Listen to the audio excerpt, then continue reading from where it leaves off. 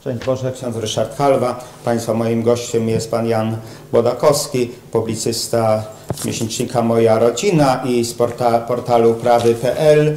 Drodzy Państwo, e, wiemy, że dzisiaj dużo mówi się o szczepieniach, między innymi Polska ma wprowadzić e, sporo, nie wiem, 30 milionów czy ileś szczepień, także chcą, niby mówi się o tym, że szczepienia mają być dobrowolne, ale są pewne naciski i uzależnienia. Między innymi szef Urzędu Rady Ministrów, pan Dworczyk, powiedział, że jeżeli ktoś się nie zaszczepi, to nie będzie miał możliwość, moż, możliwość wejścia na pokład samolotu. No drodzy Państwo, czy my żyjemy w czasach komuny, czy, czy jakiegoś systemu totalitarnego? Yy, dlatego, yy, Panie Janku, Panie redaktorze, co się wydarzyło z między innymi z lekarzem, szefem oddziału zakaźnego z Dąbrowy Tarnowskiej, który z grupą lekarzy wysłał pismo w tej sprawie do prezydenta. E, tutaj, tutaj mówimy, mówimy o wpisie ordynatora oddziału zakaźnego w Dąbrowie Tarnowskiej, doktora e, nauk medycznych Zbigniewa Martyki e, który e, ten wpis był na, na Facebooku i nagle zniknął. E, Czyli teraz- Facebook go zablokował E, przez to. Znikło, po prostu, bez żadnego tłumaczenia. E, wykasowano wpis człowieka, który jest po prostu i wykształcony i ma, i ma bezpośredni kontakt z, e, z tym, co się dzieje w związku z, e, z COVID, bo jest e, ordynatorem e, oddziału No, czyli człowiek wykształcony, znający się na, na szczepieniu. E, oddziału zakaźnego. E, On w e, swoim poście zwrócił uwagę, pytany na to, o to, czy ta szczepionka będzie bezpieczna, zwrócił na bardzo ciekawą rzecz. Stwierdził, że ta szczepionka jest nowatorska, bo po raz pierwszy ma być to szczepionka wpływająca na geny. Czyli ona ma Czyli może powodować zmianę e, genotypu. Nasze, naszego genotypu, więc e, e, jak po całą populację e, zaszczepimy czymś, co, co ma, może zmieniać nasz genotyp, to ja już jestem, zaczynam się bardzo obawiać. E, Dodatkowo pan e, doktor e, Martyka zwrócił uwagę, że nie było mo możliwości wieloletniej obserwacji i dłuższych badań, jak to jest wymagane przy wprowadzaniu na rynek nowej szczepionki. Nie ma informacji na temat jej bezpieczeństwa i ewentualnych skutków ubocznych. Bo nikt takich informacji nie mógł bez badań zdobyć. Przecież my jako obywatele, którzy e, ponoć mamy możliwość dobrowolnego zaszczepienia się, powinniśmy wiedzieć, czy mogą być skutki uboczne, czy nie. A jeżeli mogą być, to ja się boję, ja się nie zaszczepię. Chyba, że mnie E, i przymusowo, tu- ale nie zgodzę i, się e, na I tutaj, a to jeszcze dodam e, a propos, że jest propozycja przecież klubu posłów lewicy, którzy chcą wprowadzić przymusowe szczepionki i którzy, e, a wcześniej, którzy proponowali, żeby ludzi, którzy e, są krytycznie nastawioni i zadają niewygodne pytania, e, covidosceptyków, no my byśmy byli uznani za takich covidosceptyków, żeby wsadzać do więzień. No to drodzy Państwo, w takim tak. układzie niech lewica za własne pieniądze się zaszczepi, a nie z pieniędzy podatników, ani z Unii Europejskiej, gdzie my wkładamy do kasy unijnej pieniądze. Tak. Tutaj doktor e, Martyka zwrócił jeszcze uwagę na to, że w Sejmie, kiedy była debata, to posłowie, nie, którzy się pytali o to, e, czy e, władze mają jakieś dowody na, na to, że ta szczepionka Jest nie bezpieczna. jest bezpieczna i nie ma skutków ubocznych, żadnej e, odpowiedzi satysfakcjonującej nie dostali. Eee, I jeszcze tu warto zwrócić, że w swoim wpisie ordynator oddziału zakaźnego w Dąbrowie Tarnowskich, Tarnowskiej e, zwrócił uwagę, że firma e, e, Pfizer e,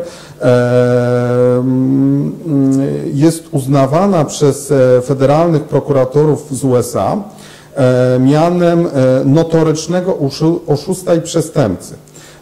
Ta swoim poście na Facebooku e, pan doktor Martyka pisze, że firma została wielokrotnie ukarana, wypłaciła miliardy dolarów kar e, za wprowadzenie w błąd w kwestii stosowania wielu leków.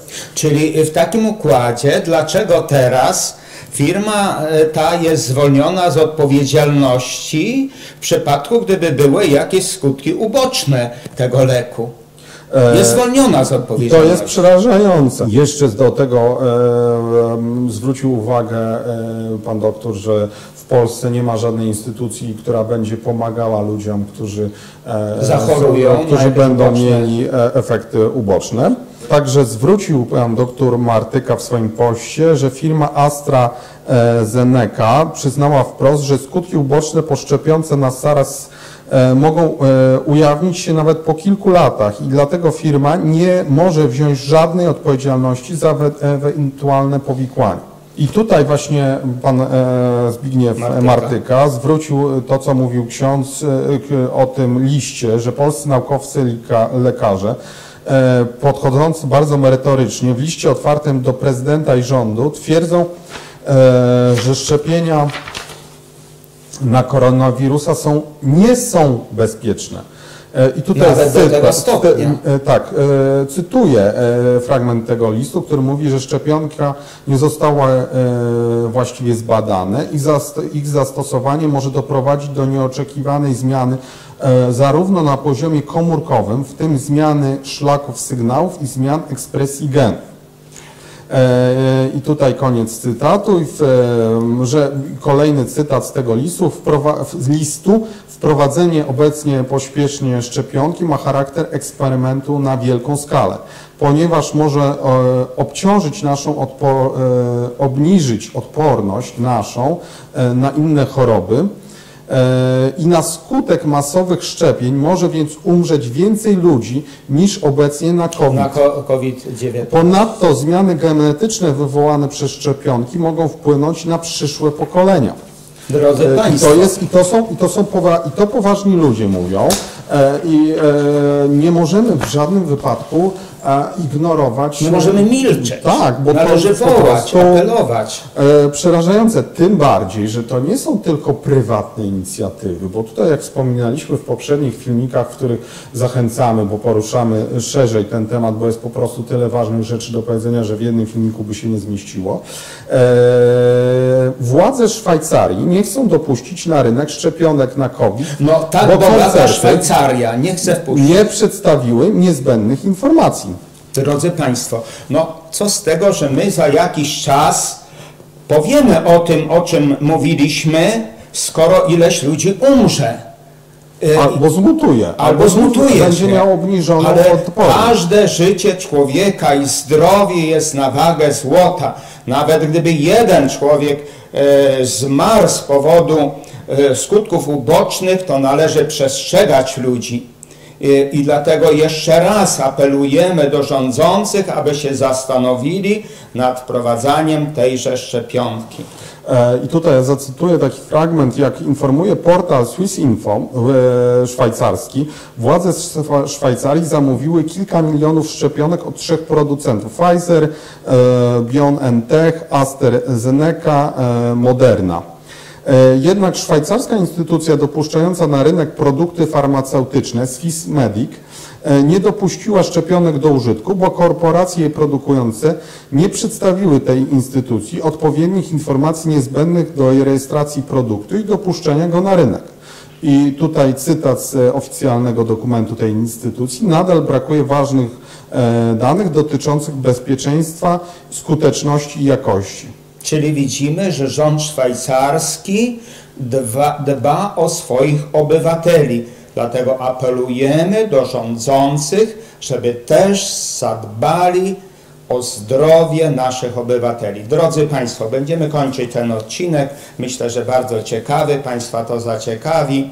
E, A nasze- jeszcze, jeszcze Proszę. ja bym mógł dodać, bo e, tutaj był też bardzo ciekawy artykuł, który, który właśnie był opisany przeze mnie na, te, na portalu prawy.pl. To był artykuł z e, przedostatniego numeru tyg, dwutygodnika Najwyższy Czas Marka Skalskiego, z którego, który przeba, sprawdził na amerykańskiej stronie dotyczącej e, badań nad preparatami medycznymi, jak wygląda kwestia e, badań nad, e, nad, nad szczepionką.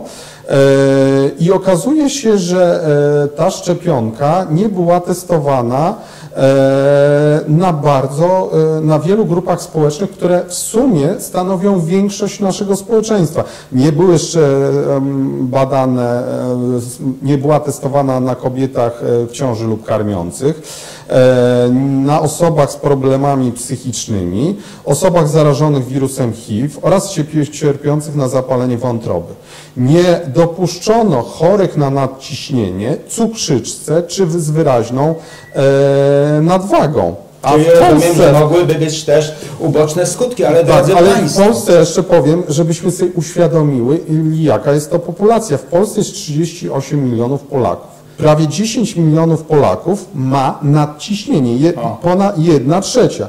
3 miliony ma e, cukrzycę, a otyłość dotyczy ponad 61% Polaków, czyli szczepionka, która jest wprowadzana w Polsce, doty, e, była przebada, nie była przebadana na osobach z takimi problemami zdrowotnymi, które dotyczą większości Polaków, więc nawet nie wiadomo, jaka, jaki byłby, mm, e, jakie by były skutki. No, to po prostu jest po prostu e, przerażające, że, że tak nas potraktowano. no drodzy Państwo, ja myślę, że ci, którzy obejrzą e, nasz, nasz film, e, zastanowią się nad tym, czy się szczepić, e, ale przede wszystkim chciałbym, żebyście Państwo apelowali. Indywidualnie proszę pisać do, do prezydenta, do, do, do osób rządzących, do Sejmu, do premiera, żeby zastanowili się nad tymi szczepieniami. Drodzy Państwo, mieliśmy następny odcinek z cyklu Rozmowy bez cenzury. Dziękuję, szczęść Boże.